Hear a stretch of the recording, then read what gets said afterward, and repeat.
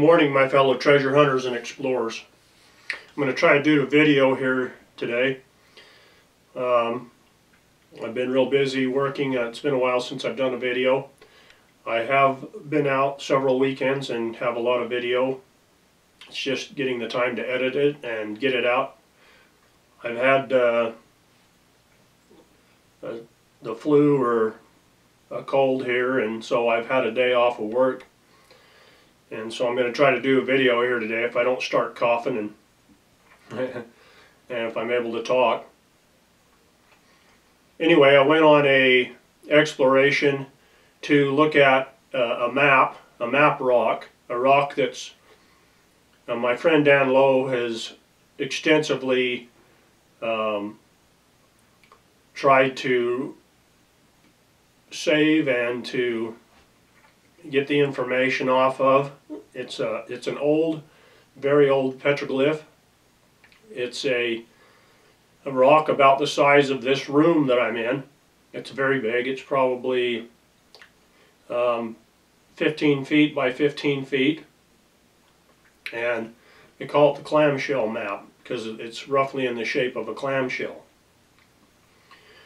We believe that this map was left by the Aztec or by natives that were a break off from the Aztec or possibly by those who came back um, to hide the treasure of the Aztecs. Now I know that sounds like that's that's quite a, a quite a claim, but anybody that spend any amount of time with this map knows without a shadow of a doubt that this is a very important map that shows some very important things. And some of the things that this map shows is the Three Lakes area, the Three Lakes area that has been associated with an Aztec uh, water trap. It shows the Johnson Canyon area. It shows the area shows the area of the Arizona Strip and along the Grand Canyon. And it and it indicates some very significant sites by the by the things that are on the map. Every time we go to this site, we find more petroglyphs and things that we missed from the previous time. Now this map is very old and it's even though it's been protected by an overhang, it is being degraded by nature. Unfortunately, we also have graffiti on this map from idiots that have no concept or understanding of the national treasures that these things are or the information that we could glean from these things. And so I'm not going to give the area or tell where it's at because if one out of ten people write cards their initials in this map, it wouldn't be long before it's completely covered with graffiti. And it's unfortunate it's unfortunate that we can't have people, can't show people these things and, and have them respect it. Um, anyway, when I went to this location, I was, um, I found some other petroglyphs, and I also found some things that brought to the brought to the front, brought to the forefront some things that brought to the forefront of how important this map really is. And what happened to the Aztec and where did they come from? How did, how did this clamshell map get here and why? Well, I believe that through a series of catastrophic events, you whether you want to call it the Colorado Plateau uplift, whether it was the period of volcanic activity a thousand years ago that raised up many mountains and covered over a lot of covered over a lot of uh, terrain or whether it was the extreme drought conditions like we're actually experiencing right now in the west all these things played factor in the factors into the Aztec leaving Otzatlan or the area that they were, Lake Copala, and moving and, and, and suddenly showing up in Mexico and establishing a civilization in Lake Texcoco. They didn't just show up with this highly uh, evolved civilization and build temples and, and establish a city out on the water. All these things they had, they had already developed. These things were already being used somewhere else for them to show up and so quickly establish a civilization without, with, with complete structure and a society and a religion in place. I believe they also had a writing system, even though we, we found very little of it. We have some clues to it. And we see their very elaborate uh, carvings, their stone carvings, their, their work in gold, their work in silver, copper, their warfare, their um, system later came along of human sacrifice. All these things show a highly evolved civilization that is nearing its equinox rather than a civilization that's just starting out. And so what I believe happened is I believe that in the northern Utah Basin, where Lake Uinta existed, that this was Lake Copala and that the Aztec had a civilization out on Lake, uh, Lake Uinta, or if you want to call it Copala, and that with the Colorado Plateau uplift and these destructive forces that associated with that, that the lake drained out and that there and that this uplifting and the mountains coming down and the volcanic activity that occurred that their civilization their temples their their city was destroyed, that was entirely leveled and destroyed, and that this is the only thing that would have caused the Aztec to leave and to try to find another place. This is also probably the area where they got most of their gold and their precious metals that they it was their homeland. There was extensive mining and there's mining in rocks that have gold and silver and copper and because of the changes to the geology and the, the uplifting activity, a lot of this stuff has been hidden or covered up, but we find evidences of it today. I mentioned in the past that when Mel Fisher, the finder of the Atocha, that he had a map that he found in a cannon barrel that brought him to Utah and to the Uintas in search of gold that was on the Atocha. That was the or origins of the Spanish gold that was on the Atocha. And that's why he showed up there. I believe this was the source of the Aztecs' gold. And I believe the destructive forces that destroyed the Lake Copala and Otzatlan caused the Aztec to flee south. And when they fled south, they had a period of transition where they were moving around trying to establish and find a place that was similar to the area that they were familiar with. And they just kept going until they found that in Mexico City. And there's, you know, one of their priests had a vision. They were looking for a specific area that they would find an, see an eagle with a snake in its talons and in on a cactus or something like that. And that's precisely what according to legend, they did. And they established uh, their new city and their new civilization there on Lake Texcoco.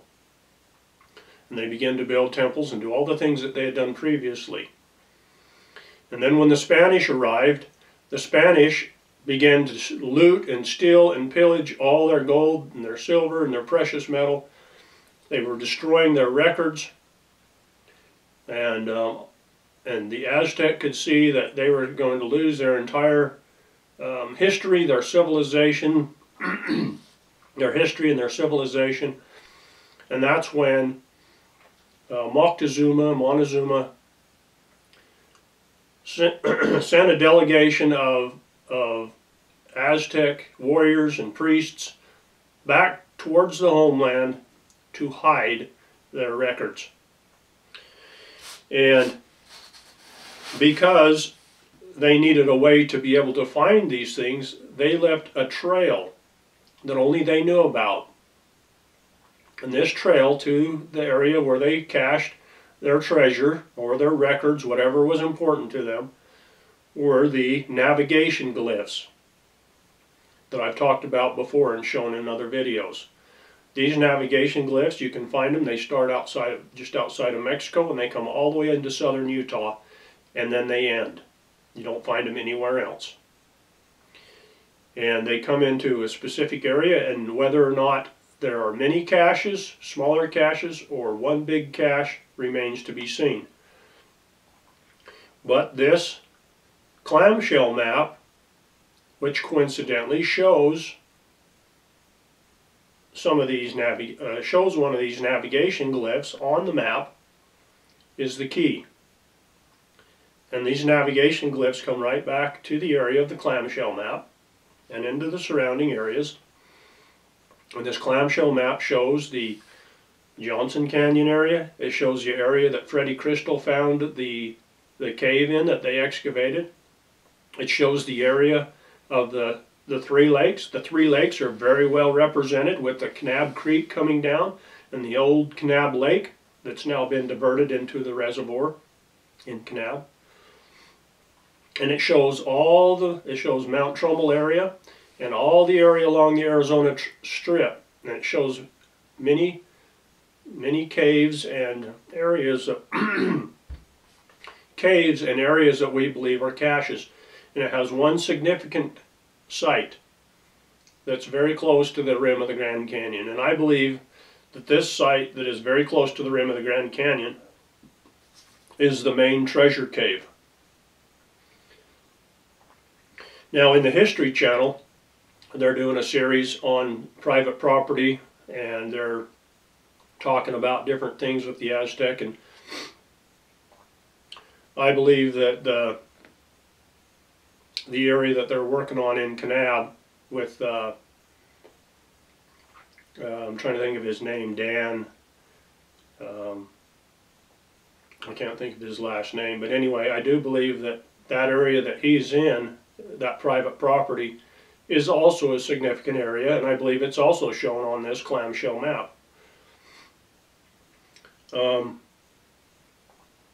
interestingly enough, uh, and I'll talk about this in another video, there's also some Spanish writings close by in this area. So I believe that the Spanish were also trying to figure out this clamshell map.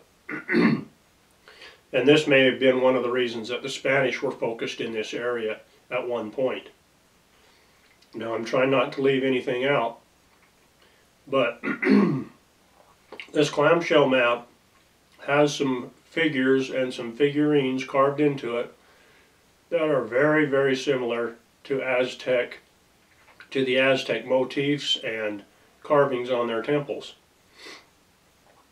In one carving, there is a serpent head and I'm not going to show it in this video because there are some Spanish inscriptions next to this serpent head and I wanted I want to do more research and study on it and be able to put together a, a better video but then then and um, take a little more time with focusing on just that.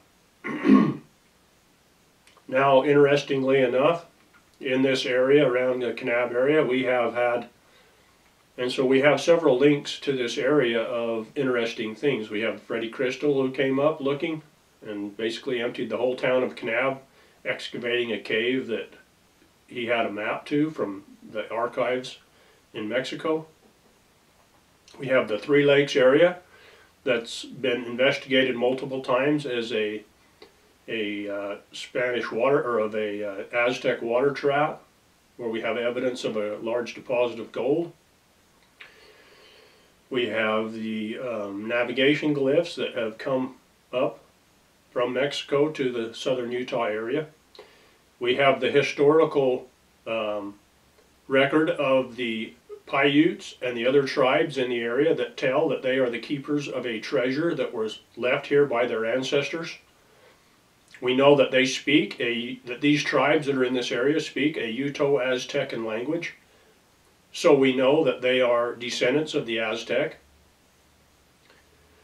We also have the numerous other clues and stories of the Spanish coming, trying to trying to trace the, the steps of the Aztec. And they only made it to the rim of the Grand Canyon and there they stopped. And so we have multiple um, clues, multiple keys, but I believe that this clamshell map, which is very little known about it, very few, very few people know about it. The people that know about it have found it accidentally. But through extensive study of this map, we are, have been able to identify many of the locations on this map. And we believe that this may be the key to finding uh, what the Aztec left behind.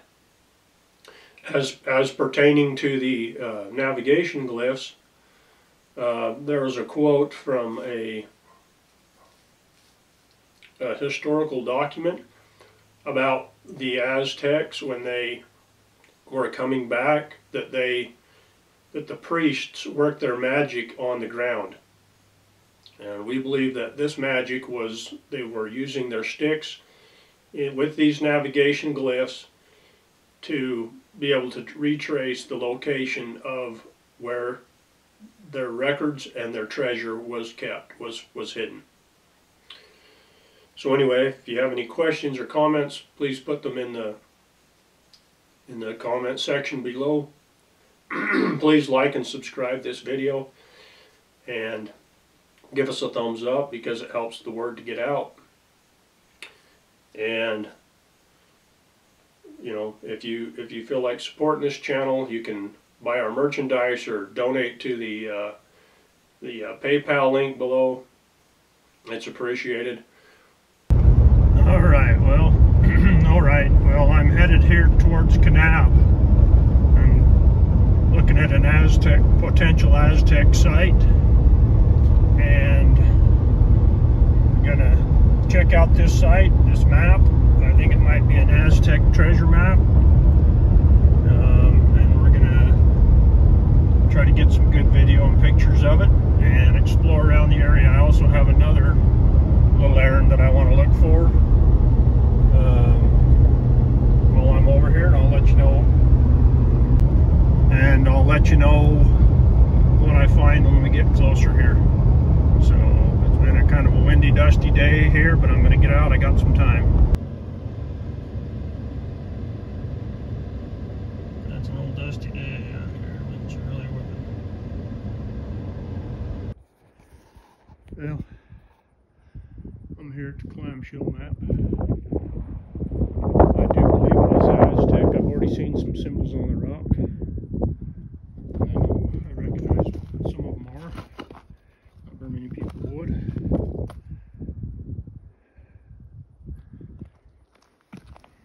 Unfortunately, this really pisses me off. Somebody's over the years, all these assholes that put their graffiti on the rocks. Like to chop their hands off, feed it to them, Aztec style.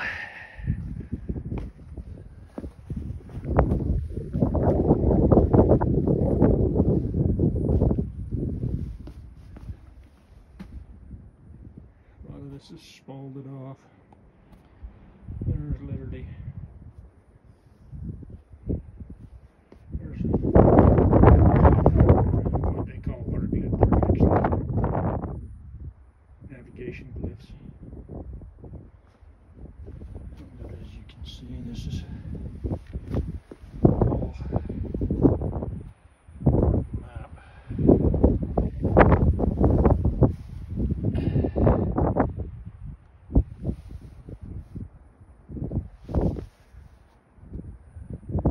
This is a, a runoff. This that's not natural.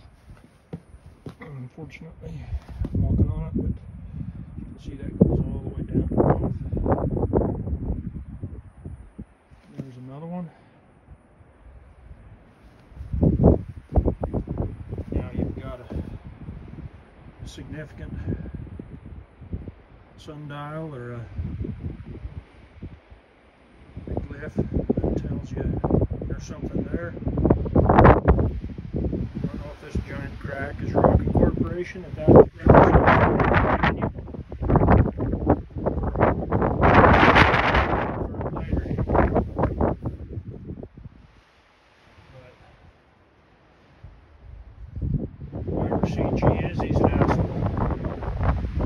ATR is, they're butt heads.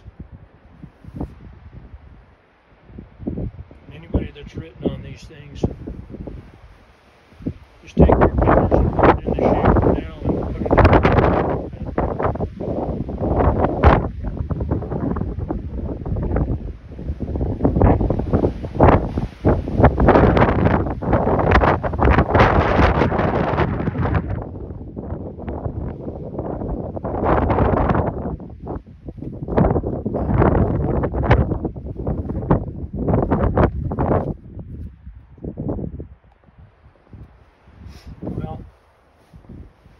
one of the most significant things on this map are these indentions up here that I believe represents three lakes the so-called Aztec treasure lakes or trap lakes that they've been trying to get into for years. They've found evidence of gold in there. You've got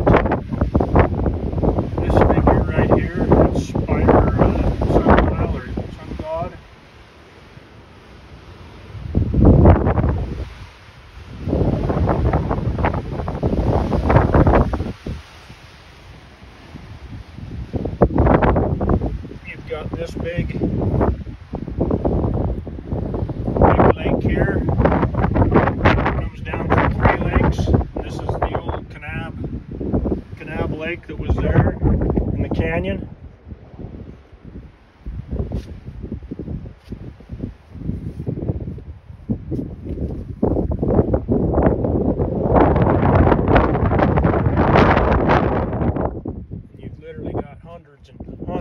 hundreds of things on here that are so old, and even though they're protected up in here,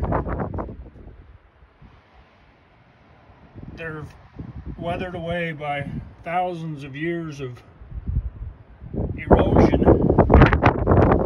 that you'll never be able to get all the, the meaning out of what's here.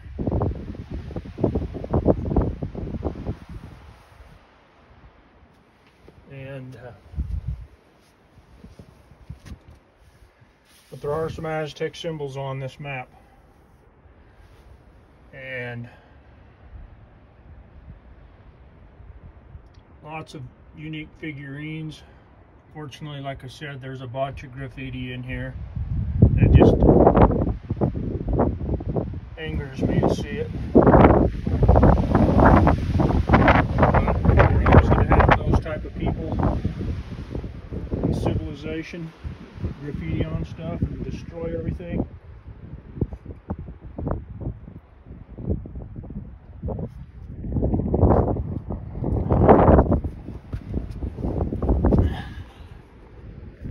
But anyway, here I am at the Aztec navigation map. I think this map holds the key to a lot of mysteries. I think if we could, if we had it in its completeness and its was made, we'd be able to understand and see the locations of some of these things. And uh, I think it would reveal where some of the secrets of the Aztec.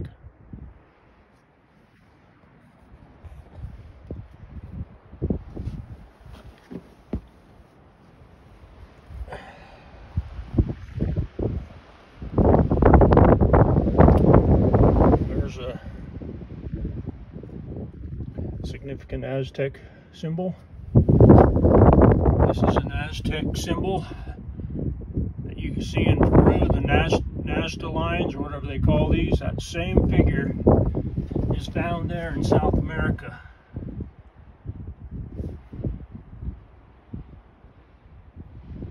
You can obviously see more modern graffiti.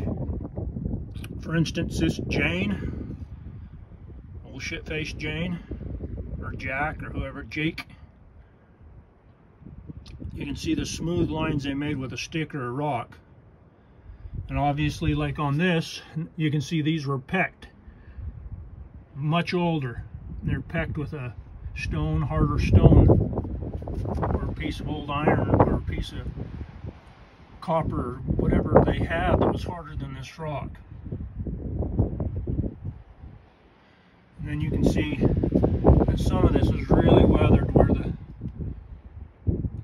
moisture is and the wind and the dust, the sand is just like sand blast, sand blast. But you can see the, the three lakes here and they show some interesting features. There's the the bear paw or the, the track or the footprint of the enemy following them. Whether that's the Spanish or as my friend Dan Lowe says, the older Greek or Romans that were over here that there's evidence of that the Aztec knew about.